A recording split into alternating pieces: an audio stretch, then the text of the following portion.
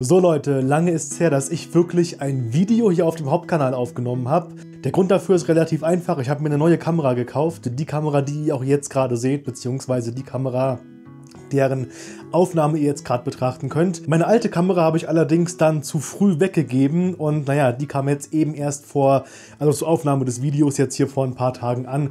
Aus diesem Grund musstet ihr ein bisschen länger warten und ich hätte mich hier auch noch ein bisschen reinfuchsen können. Ich hoffe, die Qualität ist mindestens genauso gut wie bei der alten Kamera. Die hat auf jeden Fall ein paar Vorteile und das ist eben einfach der Grund, warum einige Videos oder warum einige Themen auch nicht in Videos bearbeitet wurden. Natürlich habe aber auch ich die erfreuliche Meldung bekommen, dass Godzilla Minus One als allererster Godzilla-Film seit 1954 einen Oscar gewonnen hat. In diesem Fall eben den Oscar für das beste CGI.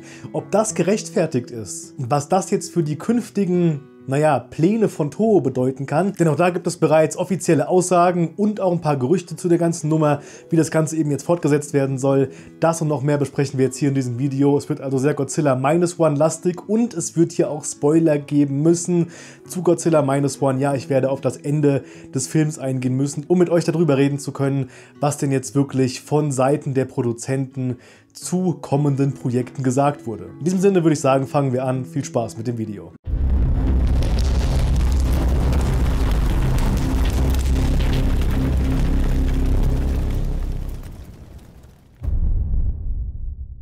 Kommen wir nun also zum Hauptthema. Godzilla Minus One hat den Oscar für beste VFX-Effekte, also CGI-Effekte gewonnen und die Leute waren wirklich außer Rand und Band. Was mir aufgefallen ist, wir haben das Video ja live auf Twitch geschaut, also die Reaction der Verantwortlichen für Godzilla Minus One, als der Film nominiert wurde, das war ja wirklich einfach herzzerreißend gewesen. Die haben sich schon nur für diese Nominierung so sehr gefreut und wir wussten ja zum Zeitpunkt der Reaction schon, dass die den Oscar auch noch gewinnen werden. Und was mir aufgefallen ist, dass sogar im Publikum selber der Applaus wesentlich größer gewesen ist oder am größten gewesen ist, als Godzilla Minus One für die Nominierung rausgegeben wurde. Kurz davor wurde nämlich bekannt gegeben, dass auch The Creator für den Oscar für beste CGI nominiert wurde und da war der Applaus noch relativ verhalten, hat sich eben so langsam gesteigert als dann Godzilla Minus One genannt wurde, sind die Leute ja wirklich außer Rand und Band gewesen. Und es hat mich schon ziemlich gefreut, dass der Film so einen Anklang gefunden hat und scheinbar wirklich bei sehr vielen Menschen. Wir dürfen nicht vergessen, dass Godzilla Minus One auch hierzulande,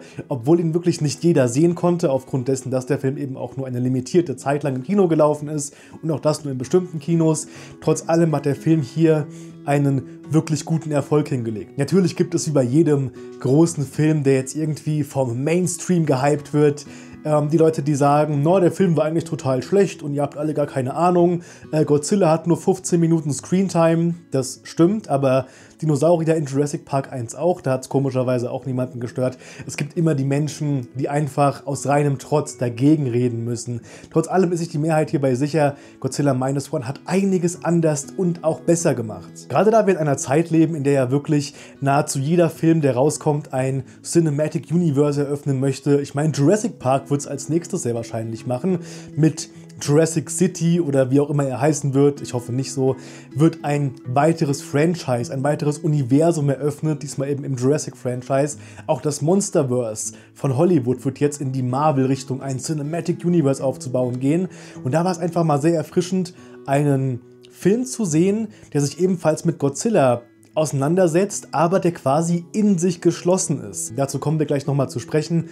Noch dazu hat der Film sich wirklich die Zeit genommen, uns eine Geschichte zu erzählen. Die Geschichte stand fest und die sollte an den Zuschauer weitergegeben werden. Was unter anderem auch mit einer der Gründe ist, dass der Film eben nicht so ein hohes Budget hatte. Natürlich eben auch die Tatsache, dass der Film dieses gewaltige Budget eines Godzilla Kongs zum Beispiel nicht bekommen hätte. Aber auch hier zeigt sich erneut, dass ein gewaltiges Budget nicht immer wirklich zielführend ist. Tatsächlich ist genau das Gegenteil der Fall. Je höher das Budget ist, umso öfter habe ich das Gefühl, dass die Verantwortlichen für einen Film dann irgendwie der Meinung sind, man muss jetzt auch jeden Cent dieses Budget für irgendetwas ausgeben und auch wenn es nur CGI ist. Godzilla Minus One hat da eine sehr schöne und auch altbekannte Formel für sich entdeckt, wie Filme eigentlich auch früher gemacht wurden und wie Filme generell eigentlich immer noch hätten produziert werden sollen. Denn das CGI in diesem Film wurde immer nur dann eingesetzt, wenn es wirklich keine andere Möglichkeit gegeben hat. Hier hat das CGI wirklich den Film ergänzt und nicht den gesamten Film bestimmt. Ich will nicht wieder auf Marvel rumreiten, aber das haben wir auch schon mal live auf Twitch besprochen. Wenn wir uns einfach mal das Making-of von Avengers Endgame anschauen, sind 99,9% dieses Making-ofs von einem Greenscreen, quasi hier. Ich könnte euch jetzt einfach erzählen, ich bin gerade am Set von Avengers Endgame und ey, es könnte wirklich sein, dass hinter mir ist vielleicht gerade Warmir oder irgendwas. Es würde auf jeden Fall keinen Unterschied machen. Und hiermit will ich nicht sagen, dass CGI generell schlecht ist, allerdings zu viel CGI das ist wie so eine Pampe, die dann ineinander überläuft. Also man hat dann irgendwie auch keine wirklichen Tiefenverhältnisse mehr und zu viel CGI wirkt dann doch sehr künstlich logischerweise und irgendwo auch sehr faul. Godzilla Minus One wurde meiner Meinung nach genau deswegen für diesen Oscar nominiert und hat ihn dann eben auch gewonnen, weil der Film genau zu diesem Ursprung zurückgegangen ist und das CGI eben nur dann verwendet hat, wenn es wirklich sein musste. Und dafür sieht das CGI hier auch wirklich unfassbar gut aus. Es gab bestimmte Shots im Film, wo ich nicht wusste, ob sie hier wieder eine animatronische Figur genommen haben oder irgendeinen Typ in einem, in einem Godzilla-Kostüm oder ob die ganze Nummer hier jetzt aus dem Computer stammt. Und die Antwort ist ja, sämtliche Szenen hier stammen aus dem Computer. Und ich weiß, einige von euch, die jetzt dagegen sprechen werden und den Film gesehen haben, werden möglicherweise sagen, naja, aber diese Heilungskräfte von Godzilla im Film, die sahen zum Teil wirklich seltsam aus. Und da muss ich auch wirklich sagen, ja, es gab im Film die eine Szene, in welcher Godzilla eine Bombe verschluckt hat und die ist ihm dann quasi im Gesicht geplatzt. Und dann ist das Gesicht langsam wieder so zusammengeschmolzen und eben verheilt. Das sah möglicherweise nicht ganz so genial aus. Dafür hatten wir aber andere Szenen, die einfach unfassbar perfekt waren. Allein der Atomic Breath in Godzilla Minus One ist wirklich eine gewaltige Sache für sich und meiner Meinung nach hat Godzilla genau deswegen den Oscar für bestes CGI verdient, weil der Film eben genau das gemacht hat, wofür CGI da ist. Ein Film, der nach langer Zeit mal wieder das CGI nicht zweckentfremdet hat und überall reingemacht hat und ein Film, der wirklich sich darauf berufen hat, was Filme machen wirklich ist. Ihr könnt das gerne anders sehen, schreibt es mir auf jeden Fall in die Kommentare unten rein. Wir sprechen auf jeden Fall jetzt mal über eine Fortsetzung zu Godzilla Minus One, denn die wurde ja bereits angekündigt, nachdem Toho den gewaltigen Erfolg weltweit mitbekommen hat. Denn lange Zeit ist Godzilla eher ein Phänomen im asiatischen Raum gewesen. Seit Godzilla, nein, seit Shin Godzilla ist das Ganze aber auch sehr stark in den Westen rüber geschwappt und zwar stärker als jemals zuvor. Dass Godzilla meines von also solche gewaltigen positiven Resonanzen bekommen hätte, das hätte sich die gesamte Crew niemals träumen lassen, denn der Film ist eher kleiner gehalten, hat ein kleineres Budget gehabt, man wollte einfach einen guten Monsterfilm machen. Aus dem Grund, dass dann aber der Film doch wesentlich besser bei den Zuschauern angekommen ist, als das, wie gesagt, überhaupt gedacht gewesen ist, war ein Prequel, nein, ein Sequel, also ein Prequel ist eine Vorgeschichte, eine Fortsetzung zu der ganzen Nummer, wurde also dann offiziell angedacht. Dieses Sequel sollte dann auch wirklich die Geschichte von Godzilla Minus One fortsetzen. Und naja, jetzt wurde auch darauf eingegangen, dass es zwei bestimmte Szenen im Film gegeben hat, die eine Fortsetzung offen halten sollten, sollte der Film den gewünschten Erfolg haben, den er nun eben auch bekommen hat, beziehungsweise den er eben noch überschritten hat. Über die beiden Szenen quatschen wir jetzt hier nochmal ganz kurz. Das Spoilerwarnung habe ich ja eben gerade rausgegeben. Es geht hierbei nämlich um eine Szene, die auf einem Verlust resultiert, einem angeblichen Verlust. Denn in Godzilla Minus One sehen wir den für mich wahrscheinlich heftigsten Atomic Breath, obwohl ich habe ja auch schon gesagt, dass der aus dem allerersten Godzilla-Film mir wahrscheinlich am besten gefallen hat. Aber vom reinen inszenatorischen und von der reinen Wucht, wie das Kino da wirklich gewackelt hat, war das in Godzilla Minus One für mich der beste Atomic Breath. Und ich mag auch den von Shin Godzilla ganz gerne. Der ist aber dann doch mehr künstlerisch überzogen und da passieren dann so ganz viele Dinge, die einfach nur auf der Leinwand passieren, damit es halt irgendwie geil aussieht. Ich meine, Shin Godzilla schießt zuerst eine Wolke aus, aus Rauch aus seinem Mund raus, die fängt dann irgendwann Feuer, dann beginnt er noch Laser aus dem Maul zu schießen, dann aus den Rückenplatten nochmal Laser.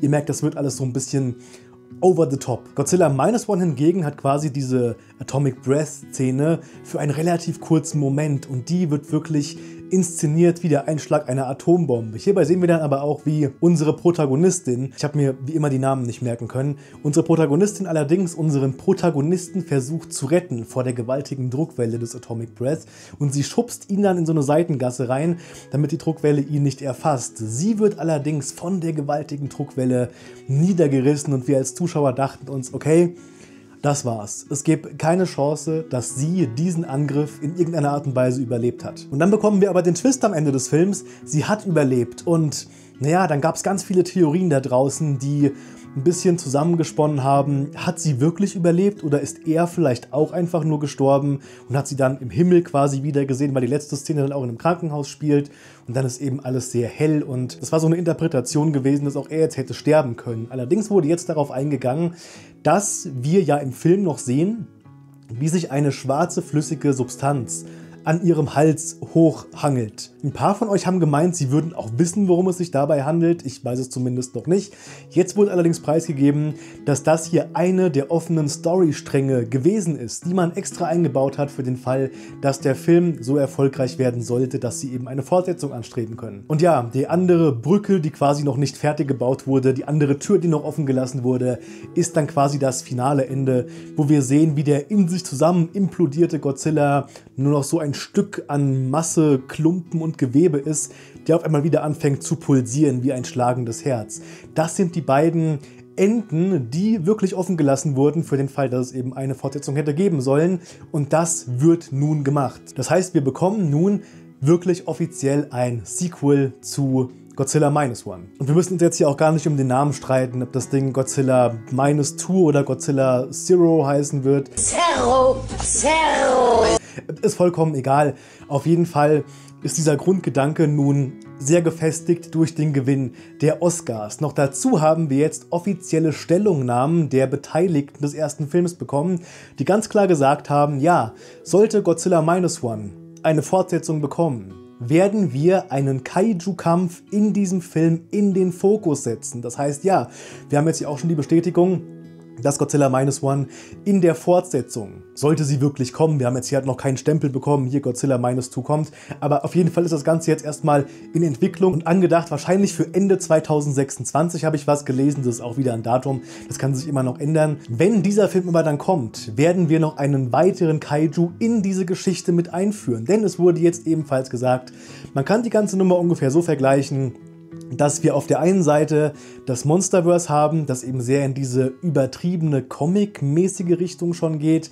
Und auf der anderen Seite haben wir die Toho-Filme, die eben ein bisschen geerdeter sind. Das Ganze kann man so ein bisschen vergleichen mit dem DCU von James Gunn oder eben auch den separaten DC-Filmen wie The Batman oder auch Joker oder was da eben noch alles kommen war. Immer quasi die Filme, die abgeschnitten zu dem großen DCU sind. Aus diesem Grund gab es jetzt auch schon die ersten Spekulationen, wer denn das neue Monster sein könnte.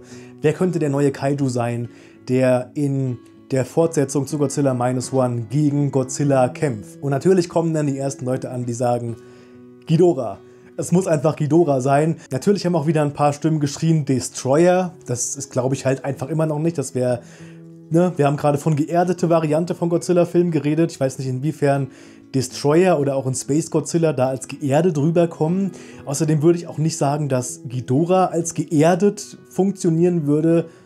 Ich will es hierbei nicht abstreiten. Man kann auch immer noch sagen, okay, wir erfinden eine Variante von Ghidorah, die dann doch eher in dieses Toho-Universum reinpassen wird. Das kann immer noch sein. Allerdings steht hier ganz oben auf dem Plan, dass Toho ein Rieseninteresse daran hätte, Anguirus zurück in dieses Film-Franchise zu bringen. Und da muss ich wirklich sagen, das finde ich die beste Idee bisher. Ich muss sagen, ich kann auf der einen Seite mit diesem überzeichneten Monsterverse sehr viel anfangen. Wie ihr auch wisst, ich freue mich ja tierisch auf Godzilla Kong. Der Film kann immer noch floppen, klar, aber ich habe da irgendwie so mein Fable dafür. Im Monsterverse passt dieses Überzogene dann doch sehr stark mit dazu. Auf der anderen Seite habe ich aber Godzilla Minus One gerade so genossen, weil das eben auf den Boden zurückgeholt wurde. Wir haben ja total überzogene Szenen, gar keine Frage. Gerade die ganzen Atomic Breath Angriffe, es sind glaube ich drei Stück, die in dem Film passieren. Aber auch die sind eben nicht so wahllos überzogen wie jetzt dann manch andere Laserstrahlattacken aus irgendwelchen Comic- oder auch Monsterverfilmungen. Das heißt, ich kann mir einfach den Angyros hier in einer Fortsetzung noch wesentlich besser vorstellen. Noch dazu haben wir ja alle gesehen, dass Godzilla Minus One irgendwie als eine Art Soft-Reboot vom allerersten Godzilla durchgegangen ist.